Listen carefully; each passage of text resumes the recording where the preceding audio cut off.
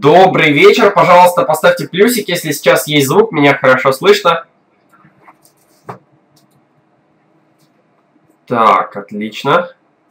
Да, все меньше и меньше остается тех, кому хочется что-то дальше сделать. А, и все равно, несмотря на то, что 10 урок, кто-то продолжает пугаться от резких звуков, которые исходят из нашего микрофона. А, вот, значит, э, ну что ж, э, напишите, у кого как ощущения от HTML остались.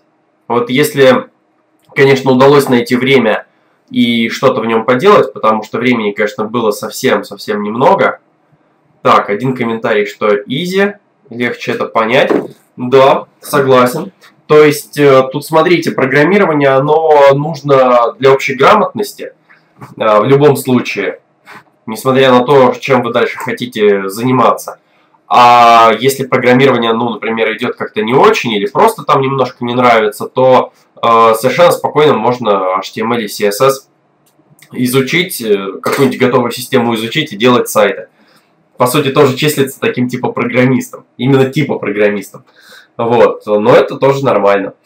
А, так, да, и вот Вадим пишет, многие знают HTML и CSS, согласен. Согласен. То есть, э, э, ну, судя по прошлому уроку, многие, в принципе, и плюсы сразу писали, и уходили, наверное, куда-то.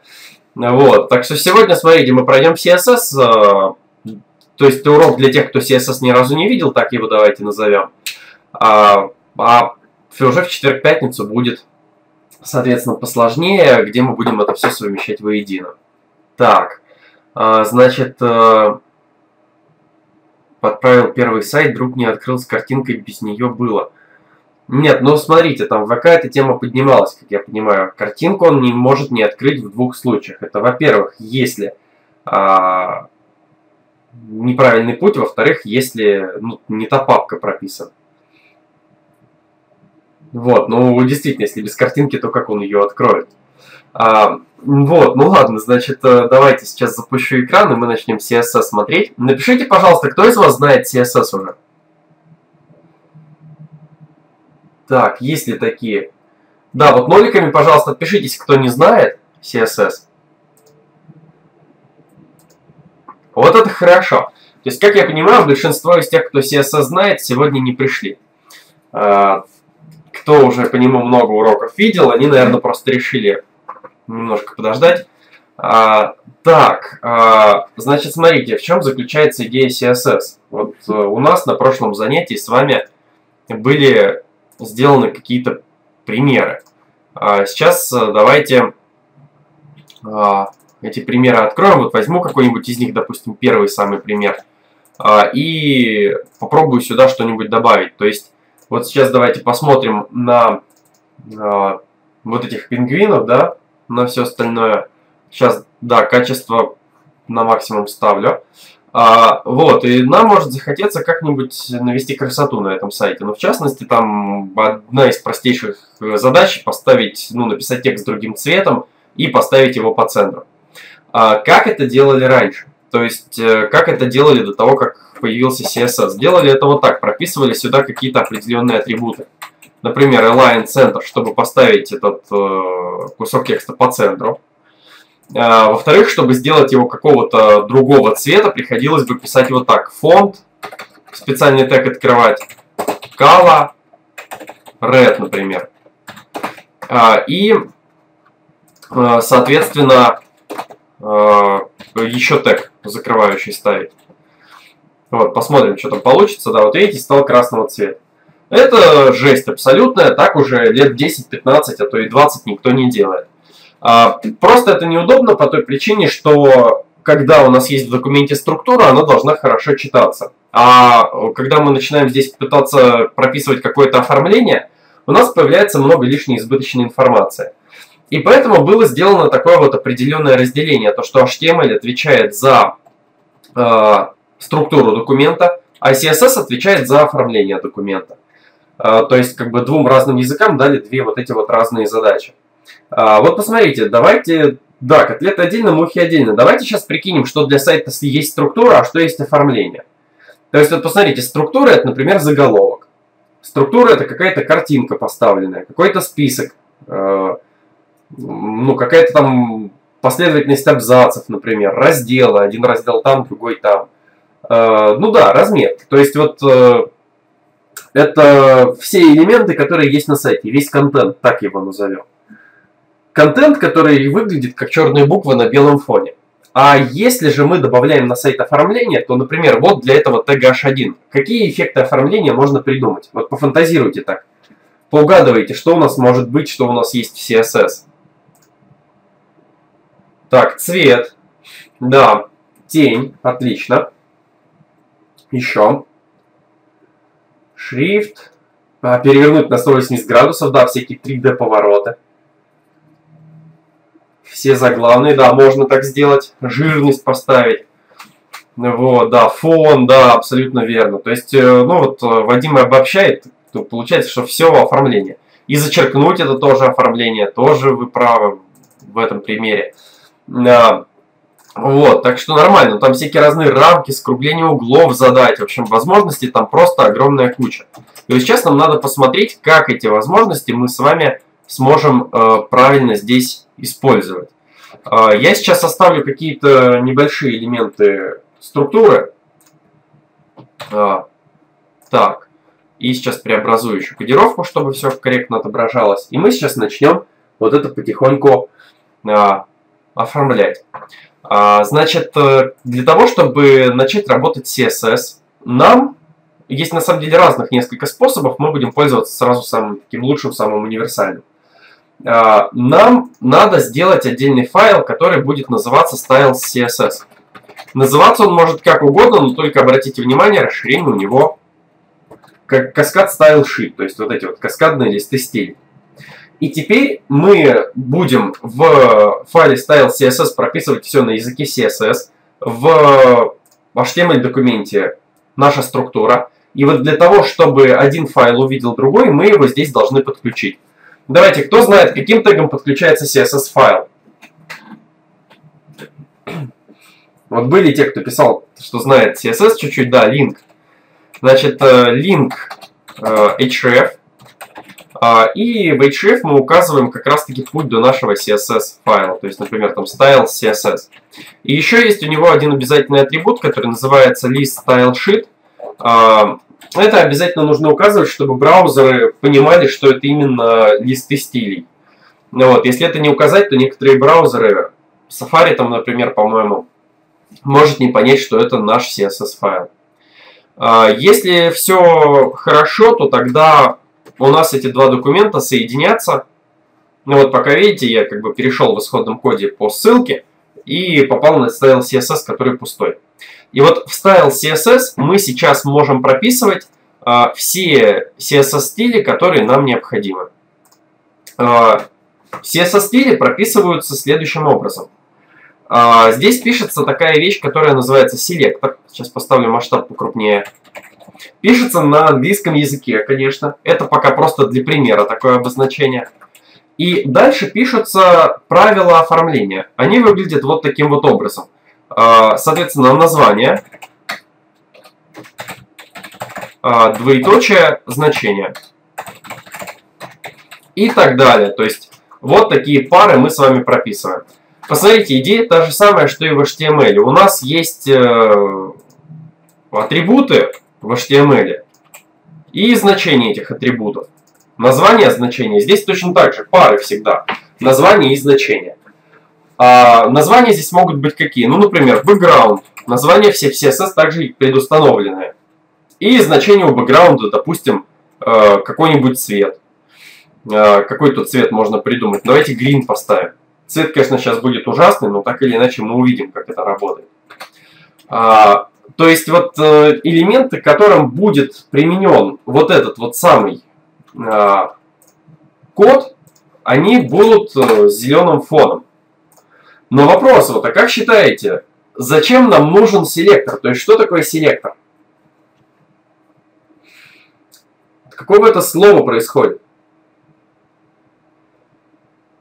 Ссылку, указание на тег – так, просили скинуть, наверное, вот этот код. Этот код можете выкачать из uh, samples прошлого урока. Uh, вот, соответственно, да, там вот верно писали в чате по поводу того, что это такое. Вот сейчас э, Лидия хорошее тоже слово написала, и Влад его выше писал. Да, и оно уже, вижу, выше просто чат прокрутился. Было несколько раз написано селектор. Это, ну что такое селекция? Это выбиральщик, вот так вот его давайте назовем. То есть мы здесь вот в этом селекторе, когда его прописываем, выбираем, какой элемент к какому мы будем подключать. А по поводу, как сделать второе окно в нотпаде. А, правой кнопкой на вкладку, когда их две откроете, и нажимаете в другое окно. Переместить в другую область, например. Вот, они у вас оказываются рядом. И сейчас я вам напишу один из примеров селекторов. Например, он называется вот так. Body. А, смотрите, что это будет делать.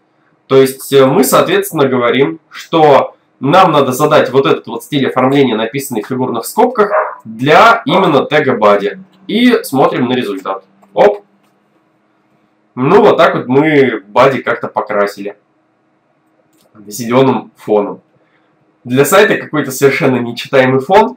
Поэтому смотрите, цвета, когда будете задавать а, для своего сайта в домашнем задании, вы можете поступить гораздо проще. Берете, пишите там генератор HTML цвета, да, а, вот, и, собственно говоря, перед вами оказывается палитра, а, которую, по которой вы бегаете и выбираете нужный цвет. Кто из вас знает, где здесь тот код, который нам нужен? Хекс, да, совершенно верно. Хекс это 16-личный код цвета, Многие из вас это могут знать по фотошопу или вообще просто по другим всяким программам. В вебе он используется для того, чтобы э, задавать цвета, как цвет текста, так и цвет, в принципе, фона. Тут разницы нет никакой. Если хотите э, подобрать какие-то цвета, э, какие тут цвета еще можно подобрать? Можно вбить в Яндексе цвета, Яндекс цвета HTML. Они здесь уже, по-моему, а нет, они, к сожалению, убрали встроенный подборщик. Вот, это нужно, видимо, по какому-то другому запросу заходить сюда. Вот, но тут тоже было много различных э, возможностей генераторов. Давайте сейчас какой-нибудь цвет выберем, такой более-менее не страшный. Вот. Э, значит, копируем. Смотрим, что у нас становится. Вот у нас там залили каким-то таким светло-желтым фоном.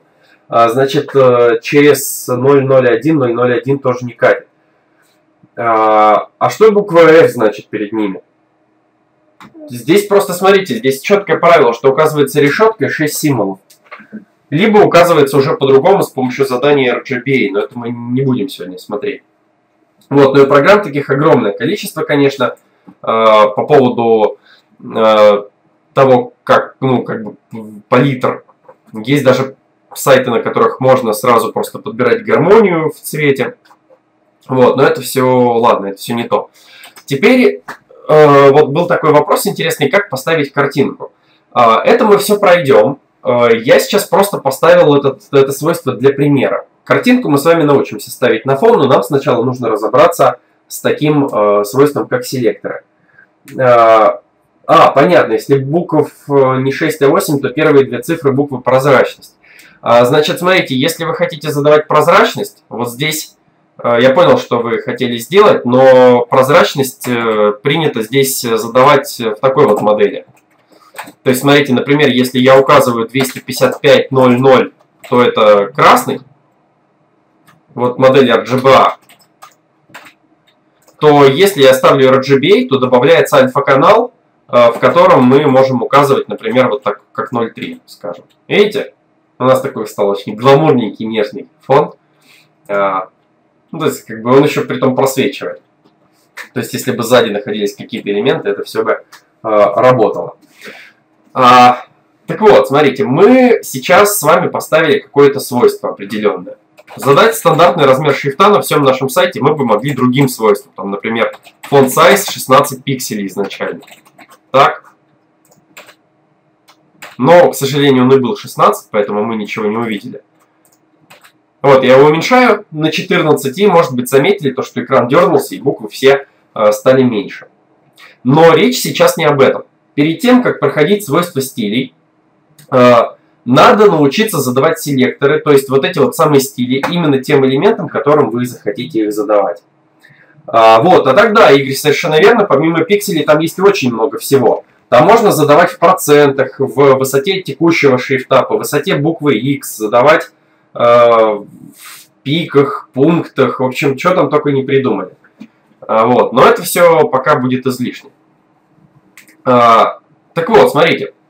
А, у нас для того, чтобы производить выборку элементов, для того, чтобы вот этот стиль присваивать какому-то элементу структуры, у нас есть селекторы трех видов. Значит, э, первый вид селекторов мы с вами видим на экране. Это так называемые селекторы тегов. Как думаете, почему их так назвали? Ну, вопрос не, наверное, вопрос совсем какой-то странный получается. Вы это сразу заметили, когда, я думаю, бади было написано. То есть, э, да, он действует на тег. Притом не на один тег, а вообще на все теги на этом сайте. То есть, если, например, я хочу э, взять и на сайте все теги А как-то поменять по их свойствам, а вот такая, давайте я, пожалуй, сейчас из э, предыдущего проекта... Хотя нет, ладно, не буду копировать, потому что есть те, кто вместе с нами пишут. Я быстренько какой-нибудь так А поставлю. Просто ведущий в пустоту. Вот когда мы ставим решетку, так ведет в никуда, э, так ссылки. И тут, допустим, там напишу главное. Ну, типа, где-то эта страничка есть. А, вот, и поставлю еще одну ссылку. Внизу. Вот, у нас было две ссылки написано. Теперь мы хотим их всех как-то оформить. Получается, что мы для э, ссылок, то есть пишем селектор А, задаем какие-то определенные настройки. Ну, в частности, что у ссылок может нас э, напрягать. Нижнее подчеркивание – и цвет, то, что он сильно выделяется. То есть мы им задаем, допустим, кала. Э, ну вот сейчас давайте какой-нибудь цвет попробуем придумать. Непонятно, что из этого получится. Это будет какой-то такой светло-серый, наверное. Или темно-серый. Светло-серый скорее. А, вот, и а, дальше мы им задаем, допустим, там, текст decoration на. То, что вы ну, можете не понимать эти свойства, которые мы сейчас пишем, это совершенно нормально. Да, вот он такой светло-светло-бело-серый получился. А, вот, потому что а, мы их еще не проходили. Так, все какие-то ссылки получаются зеленые на зеленом. Давайте мы сделаем более гламурный такой. О, так лучше. А, вот как-то так. То есть вам сейчас надо понять, по какому принципу у нас присваиваются вот эти самые стили. Как считаете, что получилось бы, если бы я сюда написал тег body? То есть вот что бы тогда произошло с нашим сайтом? Заменился бы? Э, нет, он бы не заменился. Э, он бы, смотрите, здесь не было бы конфликта, потому что у нас свойства внутри стилей не пересекаются. То есть присвоил, присвоился бы этот стиль и вот этот. Видите, здесь нет конфликтующих каких-то значений.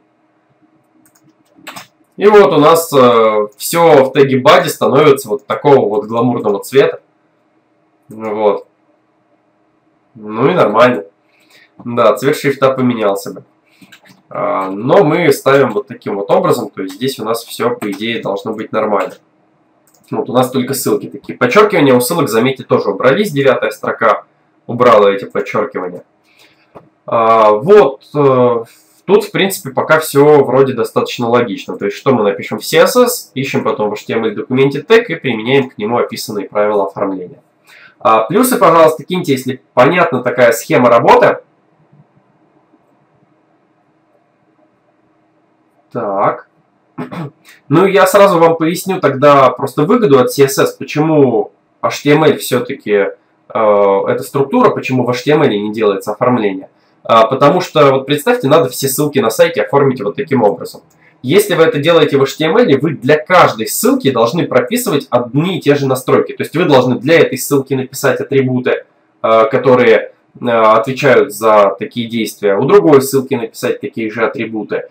А, соответственно, в CSS вы просто можете вот так вот взять и одним действием совершенно спокойно все исправить. Значит, текст поверх изображения на CSS покажете. Но в конце урока напомните, мы посмотрим, докуда мы продвинемся. По идее, написать-то это 3-4 строчки, только вопрос в том, что это никому не будет понятно, поэтому вот если у нас 5 минут в конце останется, то покажу. А, так, так, так, так, так. А, значит, э, теперь следующие теги. А, просто вот для чего они могут быть нужны. А, представьте, что вам надо из тегов li сделать зебру. А, вот из этих. То есть у вас есть список, и вам для читаемости надо выделить э, буквы в этом списке, соответственно, каким-то разным цветом. А, вот, смотрите, если бы у вас была задача выделить э, шрифт в этом списке у всех, ну, как бы у всех тегов ли, э, синий, то вы бы тогда совершенно спокойно могли написать вот так. Вы бы могли проставить ли, так, кала, синий. Вот, но вам надо задать это не для всех тегов ли, а только для, допустим, второго, четвертого и шестого. И для того, чтобы это сделать можно было, э, ну не только для этих задач, были придуманы два других вида селекторов. Это селекторы по ID и селекторы классов. Начнем мы с селектора по ID. А, вот смотрите, допустим, вам сказали, что нужно выделить первый тег ли как-то по-особенному. Потому что он самый первый, тут самый важный, как какой там товар лидер, если это список товаров. Или там победитель, если это список каких-то участников чего-то. Смотрите, как мы можем сделать. Вот сейчас сюда я комментарий тоже перенесу, чтобы он у вас оставался. А, значит, э, ID селектора. Мы прописываем для элемента li такое уникальное свойство, такой уникальный атрибут, который называется ID. И вот сюда придумываем ID-шник такой, какой захотим. Его можно называть как угодно. Его можно называть first, э, его можно называть там XXX, его можно называть бильбердо любой совершенно, какой только захотите. Э, с цифрами тут есть определенная проблема. Э, цифры могут присутствовать в айдишнике, но начинаться он должен обязательно с буквы. То есть вот так вот писать айдишник нельзя. Вот, то есть э, мы должны здесь прописывать сначала какую-то букву, потом все остальное. Мы, например, можем написать L1. Вот это нормальный айдишник. Был бы. Типа как бы first. Ну вот такое у них правило. Это как и в языках программирования. А, там, смотрите, в языках программирования название переменной вы пишете буквами, и цифры могут быть в названиях переменных, но не первым символом, потому что тогда программа сразу слетает. Вот здесь решили сделать по такому же принципу. А, и теперь, когда я буду присваивать данный стиль вот этому тегу, то напишу, посмотрите, вот так нормально написать или нет? Или здесь будет какой-то логический косяк. Так вот, да. Те, кто знает, пишут решетку. Точка ник это немножко другое, это класс. Ну вот, э, это следующий тип селекторов. А, да, косяк. Значит, э, посмотрите, почему это косяк. А, потому что он что будет думать, браузер? Он будет искать в документе такой тег, который называется first. Понимаете, HTML настолько мягкий язык, что вы сюда можете совершенно спокойно, можете проверить документацию. В HTML нет такого тега. Но мы можем сюда вписать какой-то тег, first, и видите, он у меня отобразился синим цветом. То есть HTML, ну, CSS он как бы не проверяет вообще, есть такой тег, нет такого тега. Он несется и все это смотрит.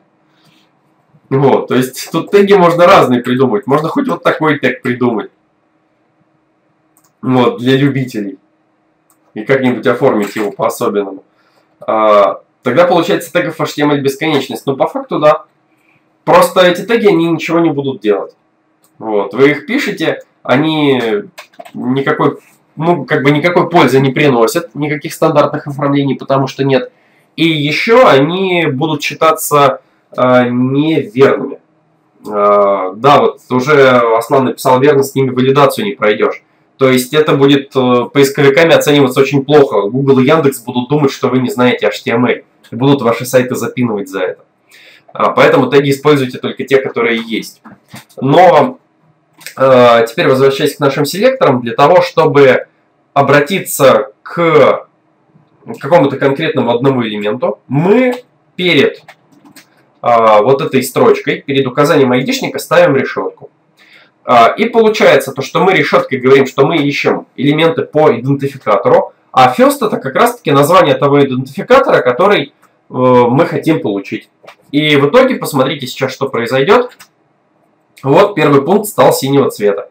То есть благодаря такому э, приему мы можем задать стиль ровно одному какому-то элементу на нашем сайте. Вот как мы это сделали с тегом li.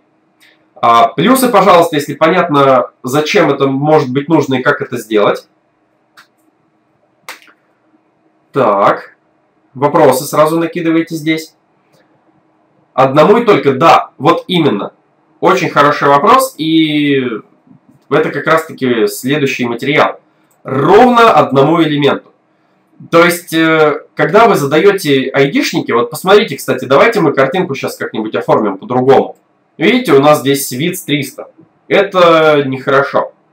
Вид 300 такого быть не должно, потому что, ну, потому что это косяк. Это оформление. Вот давайте я сейчас напишу сюда какой-нибудь айдишник. Допустим, пимдж. Ну, типа пингвина MG.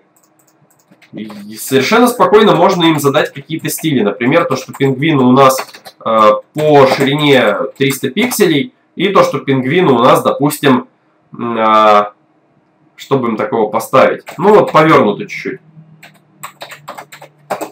Transform Rotate 30 deck. Так? Вот, нормально. Ну да, или opacity можно было бы поставить. Вот, это не важно.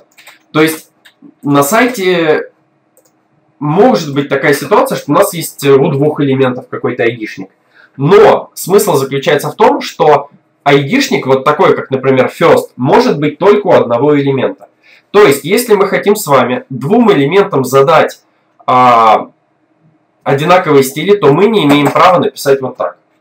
Если сравнивать э, с программированием, э, то представьте, что вы как будто бы две разные по смыслу переменные называете одинаково. Вот что у вас произойдет? Вот вы же уже две недели программированием отзанимались. Представьте, если вы назовете две переменные одинаково. Две разные переменные назовете одинаково. Что у вас случится тогда? Так, Ник, в принципе, верно уже написал. Я думаю, тут дальше комментарии излишни. А, ну да, то есть ком как-то запутается. Просто это будет одна и та же ячейка. И все будет криво работать из-за этого. У вас какие-то значения будут теряться. Также здесь, если вы проставите два айдишника, то CSS терпит, потому что браузеры стремятся оформить сайт как можно лучше, как можно послушнее. А вот JavaScript уже не простит, и когда мы в четверг вот будем проходить э, то, как привязывается программирование и внешний вид оформления, то там сразу полетят ошибки.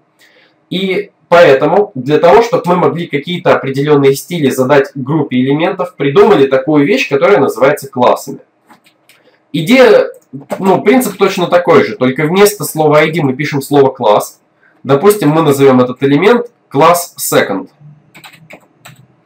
Ну или нет, не класс second, а класс even, например, четный элемент. И мы теперь, когда обращаемся к элементу по селекторам классов, то мы пишем уже, смотрите, не вот так. То есть мы не можем написать просто even, потому что он будет искать тег. Мы не можем писать решетка even, потому что э, он будет искать элемент с ID even. И поэтому здесь есть вот такая вот запись, мы пишем .even. И вот этот вот самый селектор, он будет искать все элементы, у которых есть класс even. И им мы сейчас можем поставить какой-нибудь э, другой цвет. Так, какого у нас там еще цвета не было? Ну ладно, давайте поставим вот такой. Смотрим. Вот, у нас этот пункт стал красного цвета. Соответственно, теперь, чтобы задать четвертому и шестому пункту красный цвет, что мы для этого можем сделать?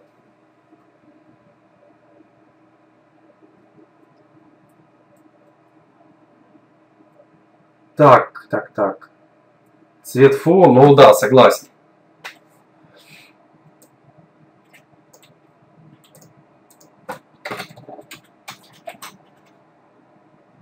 Так, прописать класс, называть их также, да, совершенно верно. А, вот, то есть мы берем и тогда элементам четвертому и шестому проставляем класс even.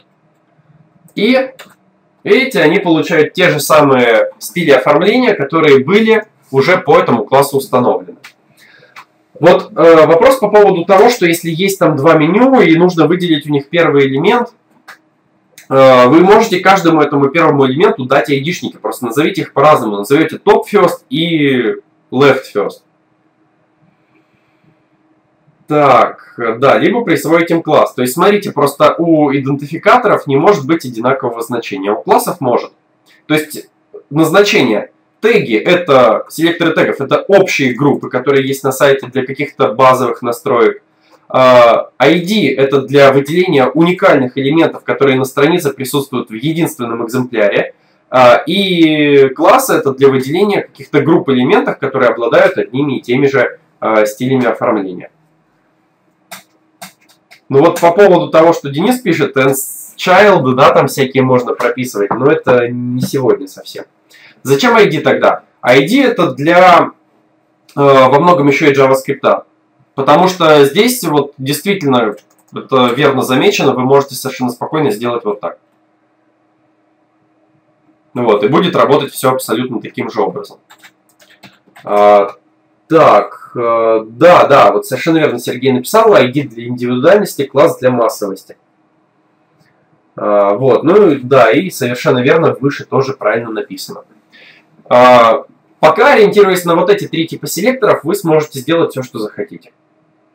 А, JS будет работать с классом. Да, JS может работать как с айдишником, так и с классом. Просто с классом работать там не так удобно. На чистом JS, по крайней мере, точно. Even для чего? Ну, even мы сами придумали такой класс. Это наше название. Мы решали задачу создания зебры. То есть вот мы хотели оформить э, пункты меню какими-то определенными свойствами каждый второй пункт. А, так, по поводу дизайна нет. Мы дизайн здесь не будем делать. Что по дизайну, если кто хочет, что вам посоветовать-то? Сейчас я посмотрю, у нас по фотошопу остался, не остался висеть материал. Так, это у нас нет, это не... А, это фотошоп, да? Ну, кто хочет что-нибудь порисовать, вот держите ссылочку. Ну вот, там, по-моему, бесплатно в записи его можно получить, если я не ошибаюсь. Ну вот, так что посмотрите, как в фотошопе рисовать. А, привязка дизайна к странице нет. Если все, я понял, это было провер, проверстку, нет. В этом курсе этого нет. А, так, мутности можно придать в CSS изображение или это в редакторе делать. Если именно мутности, то в редакторе. Хотя, ну, в CSS можно делать прозрачность, например.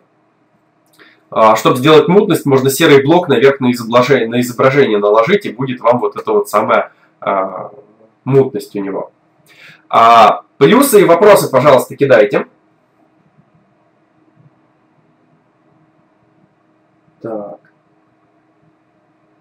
Не, ну смотрите, там, во-первых, еще что можете посмотреть, есть такое свойство фильтров CSS для ну, небольших искажений. Так, что-то посложнее. Нет, посложнее, я думаю, рано, потому что, вот видите, плюсов не так и много. То есть здесь э, самое главное, вот э, вопрос в том, понятно ли, как ведется привязка одних элементов к другим. Стилей CSS и элементов HTML. Потому что, э, как бы, то, как прописываются CSS-стили, какие они здесь есть, это не так важно. Это мы будем сейчас проходить. Так. Э, значит, э, parseInt, э, input. А, ну да, значение из полей можно, да, можно брать совершенно спокойно. А, так, ну ладно. Значит, здесь вроде плюсы были дополнительно понаписаны. И тогда мы сейчас с вами будем рассматривать, а какие же именно свойства стилей мы можем устанавливать для вот этих самых элементов. А, здесь есть очень много возможностей, гораздо более сложных. Но это все большой и объемный материал, и это специфика веб-разработки. То есть сейчас, смотрите, вот уроки, которые, которые идет сегодня, который был вчера, это просто как пример того, как оформляется пользовательский интерфейс. Вы же в дальнейшем там не все веб-разработкой захотите заниматься, направлений там много разных. Ну вот, и поэтому это просто как один из э, приемов, одна из возможностей.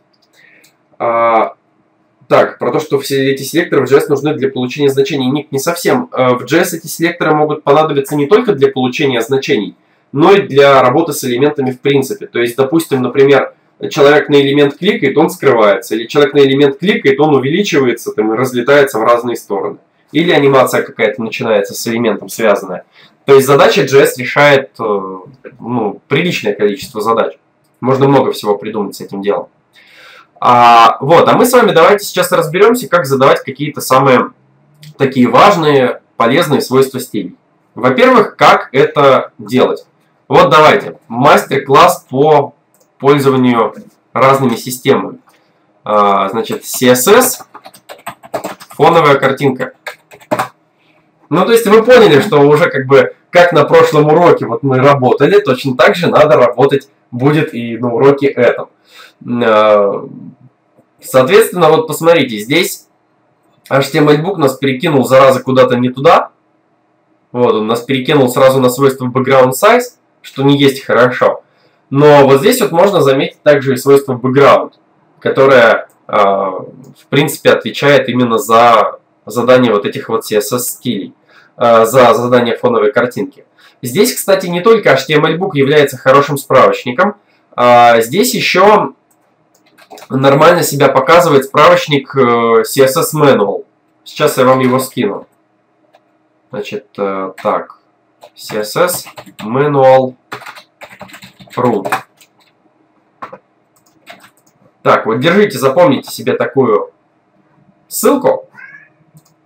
Будет полезно и пригодится. Чем она просто лучше, здесь более компактно указано, чем на HTML-буке. HTML-бук вас начинает в справочнике CSS сразу грузить какими-то страшными префиксами, которые вам неизвестно, когда еще встретятся. А на CSS Manual у вас э, тут прописаны свойства, которые такие более стандартные, э, которые, в принципе, так не напугают. Так, CSS 3, да, CSS 3 это последняя версия. А, вот, давайте смотреть, значит, свойства background, если мы откроем. То есть сейчас вот э, оставшиеся 22 минуты, это именно информация о том, как пользоваться справочниками. А, потому что здесь, ну, есть своя специфика. А, Сразу смотрите, вот что он нам здесь пишет, что можно не понять, читая справочник самостоятельно. А, давайте вот увеличим масштаб, чтобы было вам тоже видно. То, что background это свойство сокращенное. Это какой-то краткий вариант записи для целого набора свойств. А, и вот посмотрите, они сразу дают пример, то что вот такая вот запись эквивалентна записи, которая написана ниже. Поясню, чтобы поняли, что это такое. А, когда мы задаем свойство background, в нем можно указывать несколько значений. Мы можем поставить background color, свойство, это цвет фона. Дальше мы можем поставить такое свойство, которое называется background image. И здесь мы указываем ссылку на картинку, которую мы хотим как фон на нашем сайте разместить. Давайте фоном у нас тоже будут пингвины. Теперь посмотрите, пингвинов что-то стало как-то очень много. Но и речь о том, то, что они еще что-то размножаются. Ну, в смысле не на картинке, а по экрану. Если мы будем менять масштаб э, в браузере. А, и для, например, вот этого у нас есть э, такое свойство, которое называется background repeat. Так. Background repeat, no repeat, например. Все, видите, пингвины больше не размножаются. Так, вопрос э, пингвина на компе. Пингвины на компе, да, это ссылка не через интернет. А, вот. И э, комментарий сейчас по поводу того, что это сложновато, может быть, не факт. Здесь же все просто через пробел будет писаться. Тут алгоритм не очень сложный. А, дальше, например, ну, как бы ладно, перестанем, перестанем издеваться над пингвинами. А, просто покажу, как вы эти три свойства можете записать сокращенно. А, вы можете поступить следующим образом. вы пишете просто свойство background, то есть вот эти свойства отдельные, а составное свойство пишется вот так. Вы убираете все, кроме background, и прописываете все вот эти значения через пробел. То есть вот посмотрите, как получается гораздо компактнее. А результат точно такой же. То есть первое значение, второе, третье. А, так. Размер подгонять для любого экрана пользователя, как растянуть на всю страницу. Для этого есть такое свойство, которое называется background size. И здесь можно указывать разные значения. Например, есть такое значение, как ковер, кава. Он растянет вот это все на страницу целиком. При этом, смотрите, я меняю масштаб экрана, и пингвины остаются, в принципе, такими же, как они и были. Ну, до определенного момента, пока не появится полоса прокрутки. Другой вариант задать здесь background size 100%, это тоже означает на всю ширину экрана. Вот видите, это даже чуть лучше работает, пингвины остаются всегда по ширине растянутые на весь экран. На наш. А, так, это вот э, вам в качестве примеров было сейчас. А, по поводу запретить изменения размеров окна сайтом. Нет, э, как бы можно сделать такую верстку, которая при изменении масштаба не будет менять пользователю картинку, но физически запретить вот это действие не получится у вас. Потому что это право пользователя менять размер окна на сайте. И точно так же, как и крутить э, колесико масштаба. Вот, и это не надо человеку запрещать делать. А, то есть, посмотрите, сейчас надо было понять даже скорее не вот эти вот свойства, а, а понять то, что есть свойства сокращенные, есть свойства полные. То есть мы можем прописывать э, фон большим количеством свойств, например, цвет, картинка, повторяемость, а можем это все написать просто через пробел. А, плюсы, пожалуйста, если поняли, что и так, и так можно писать, потому что вот это, ну, наверное, такой один из немногих моментов, который в справочниках может вызвать затруднения при самостоятельном изучении и рассмотрении. Так, вопросы накидывайте. А как лучше? Ну, с вот этими вот свойствами через дефис практически никогда никто не пишет. Потому что а, гораздо удобнее и компактнее записать вот так. Так, если хочу фиксированный сайт, чтобы скролл работал только для прокрутки содержимого, а не для увеличения элементов. Значит, посмотрите, это идея такая, которую браузеры блокируют жестко.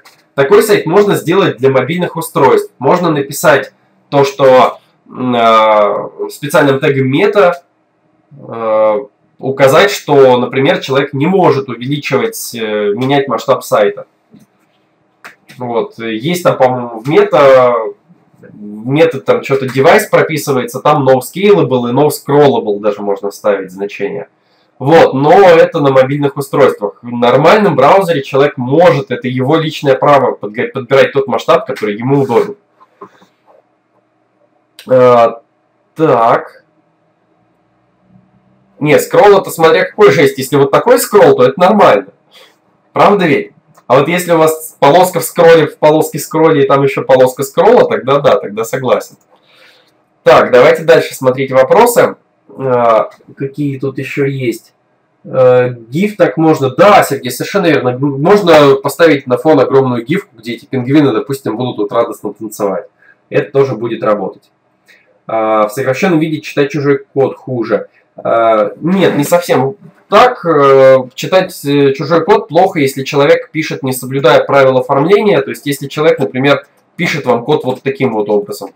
А, сейчас, э, например, вот так и вот так вот пишет.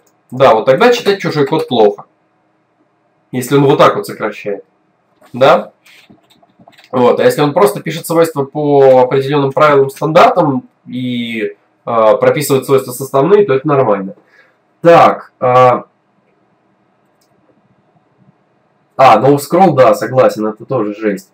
А, теперь вот по поводу того, что Ник написал table style, смотрите, так делать не надо.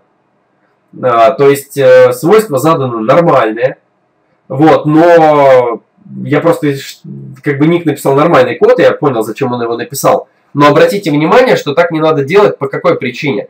А, это неверно с точки зрения задания стилей. Вот это так называемые инлайн стили. Надо задавать айдишник или класс и прописывать вот эти вот все вид 100, hate 100, vertical align, middle и так далее именно в CSS файле.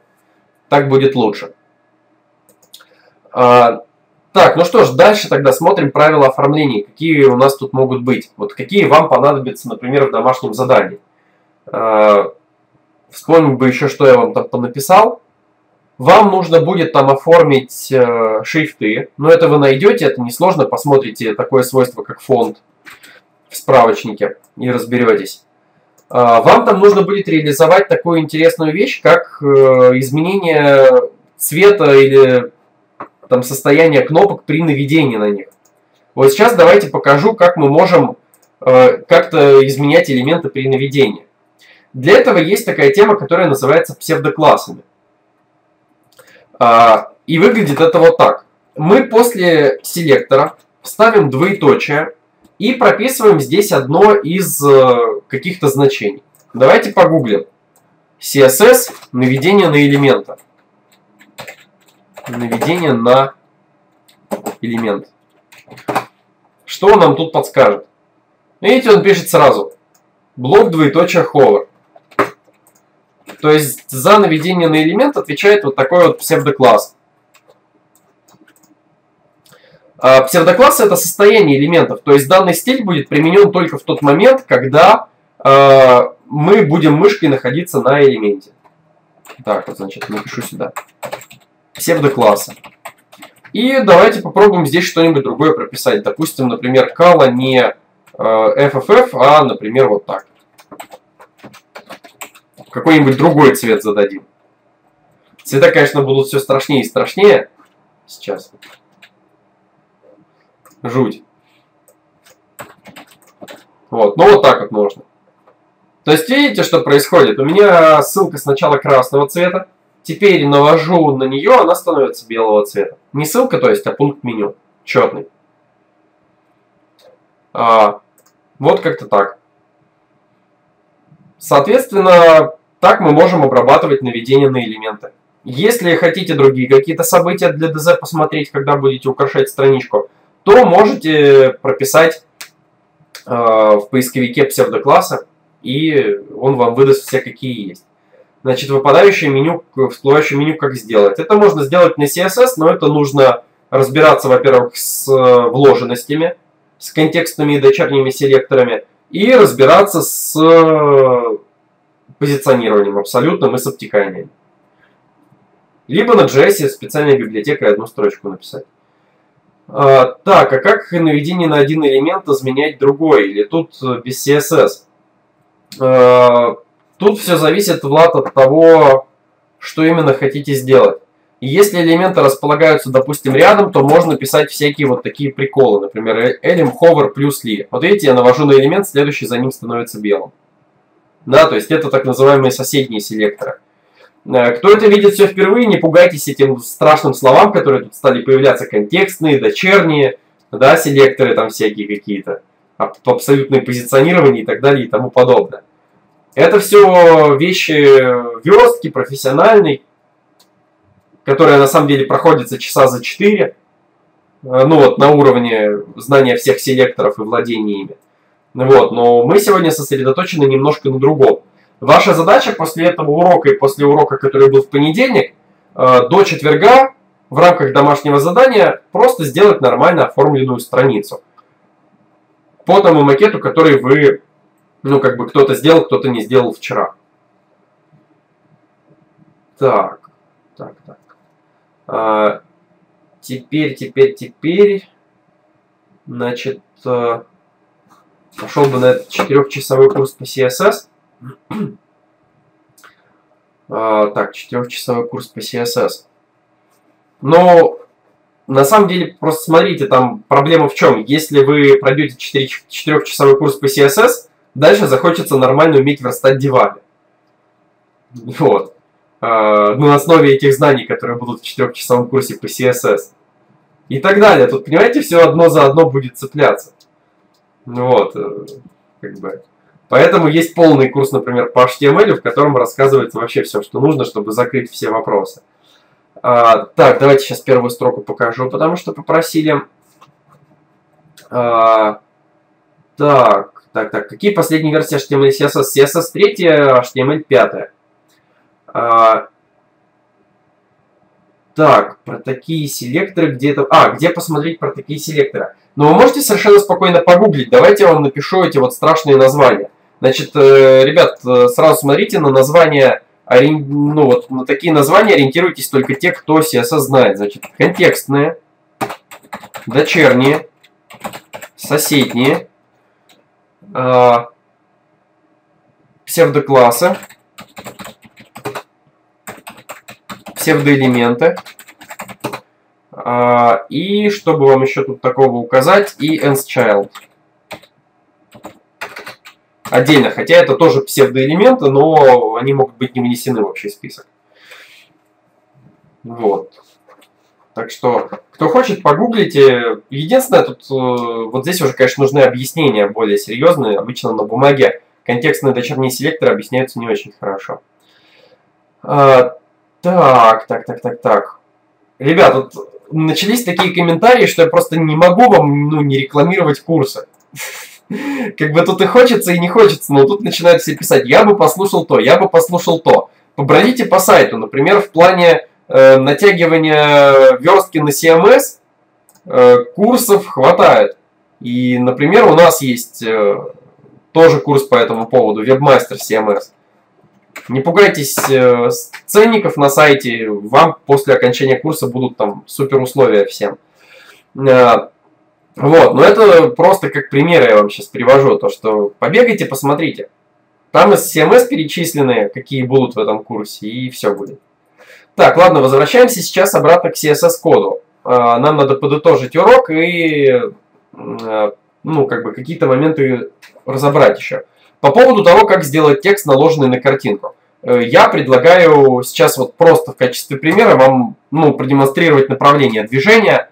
Для того, чтобы одни элементы накладывались на другие, э, нужно прописывать э, позиционирование так называемое. Оно бывает разное, но вот в частности абсолютное позиционирование это значит, что элемент выкидывается из документа, на него никто не обращает внимания. Вот видите, он, что с ним произошло? Он у нас как бы не учитывается всей системой, и текст, получается, под него подскочил туда. Вот, чтобы теперь э, этот элемент как-то по высоте нормально отработать, чтобы он лежал не на тексте, а, допустим, под ним, можно поменять ему свойство, которое называется z-индекс. Вот, например, z-индекс минус 1, это значит, что по оси z у нас элемент стоит дальше, и на него текст наехал. Но вот это такой топорный способ сделать текст над э, картинкой, потому что система неустойчивая, э, картинки желательно координаты были бы, ну, вот, чтобы она нормально стояла. Хотя и при текущей реализации она никуда не денется. Вот, но э, так или иначе задача решена. Е не будет ли против? Э, нет, и Е должен, в принципе, потянуть сейчас эту страницу. Вроде ничего мы какого-то страшного, чего бы ей не понравилось, здесь не прописывали. Да, вот видите, ей точь-в-точь -точь все отображает. А, так, ну что ж, а, вот так выглядит CSS. У кого какие ощущения от HTML и CSS вообще? То есть, как нравится эта штука, не нравится, программирование или верстка интереснее. Так. Ну вот мнения, вижу, разделились.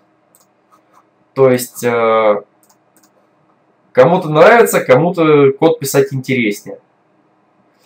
Э, так, файл style CSS до сих пор имеет формат TXT как быть. Никита, зайдите в панель управления папки э, вид, э, и там найдите галочку э, показывать расширение для зарегистрированных типов. Вот, и там, соответственно, э, у вас тогда расширение TXT появится. А, так, так, так, так, так, дальше, дальше. А,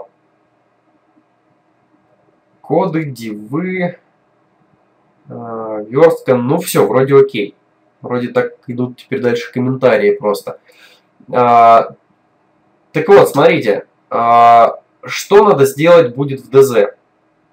В ДЗ надо будет на основе той структуры, которую вы сделали в понедельник, то есть вчера, если кто не сделал, то, соответственно, ее быстро накидать, а, сделать э, ну, какую-то системку, оформленную определенным образом. А, то есть у вас будет по центру экрана стоять табличка, зададите ей какие-то там нормальные размеры ячеек, наверху заголовок, там все в презентации написано, как оформлять надо. Вот. Э, ну и там еще определенные CSS стили, там картинку на фон поставить и так далее и тому подобное. Я просто вам поясню, что на основе этого будет делаться. Мы с вами попробуем в четверг на основе вот этой вот полученной верстки, э, которая у вас здесь будет, сделать заготовку под игру крестики-нолики и дать вам задание их до конца добить. Хотя основные наброски мы, конечно, реализуем. Вот, то есть еще вчера была одна догадка про крестики-нолики, когда вы видели такую разметку. Поэтому оформите это так, чтобы была, ну, как такая какая-то э, игра, законченная на выходе. То есть оформите не для галочки, а просто вот чтобы как-то более-менее красиво смотрелось, на игру похоже, потом будете все показывать и посмотрите, ой, я игру написал сам. А, значит, э, в четверг мы с вами попробуем это прикрутить, в пятницу обсудим, как это прикручивалось, и в пятницу буду рассказывать а, про а, то, какие есть направления в программировании, а, вот, то есть чем можно заниматься, где что интересного, где как бы больше востребованность на рынке, где меньше, где сложнее изучать языки, а какие проще наоборот. Вот, то есть в пятницу такой торжественный, традиционный, ну, как бы вебинар, подводящий итоги. Вот, сразу, кто в Москве э, можете планировать 27-е, э, вот, э, скорее всего, именно 27-го в час дня будет встреча проходить э, в конференц-зале около МГУ или в самом МГУ, может быть, посмотрим. А, вот, но это мы все вам подробнее сообщим. А, и попробуем организовать, конечно, трансляцию. Трансляцию видео. Так, ехать в Москву нет, это те, кто в Москве, кто захочет потусоваться, приходите, там мы устроим пару интересных докладов, тоже живых выступлений. Вот, так что сможете послушать. Все. Ну, еще обсудить, там кофе с печеньками попить. Потом выйти из здания и еще что-нибудь попить. Лимонада. Вот, буду ли я там? Да, конечно, буду. То есть у нас там весь слет преподавателя и студенты. А, ну что ж, пожалуйста, финальные плюсы, если понятно, что делать. Лимонад имел в виду не в час дня, а после. Как бы конференция же до вечера будет, скорее всего. Так, ну отлично. А, ну ладно, тогда на сегодня все. Спасибо за внимание. Постарайтесь э, какие-то ну, сделать э, так или иначе действия на этой странице, как-нибудь оформить ее. Вот, и тогда в четверг а, будет интересно заниматься уже привязыванием программы к этой самой верстке. Все, на сегодня тогда занятие завершаем. Всем пока, до четверга. Хорошего вечера.